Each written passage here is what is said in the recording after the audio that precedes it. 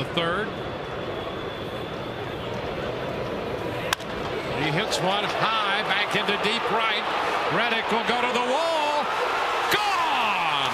Home run for Casey Kotchman. Kotchman got a fastball and hit it out. And the Rays take the lead four to three.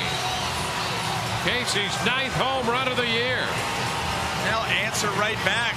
Fastball that was all over the dish.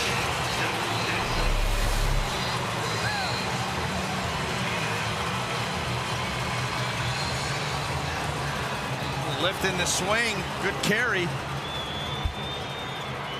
Four or five rows deep. So the Rays retake the lead.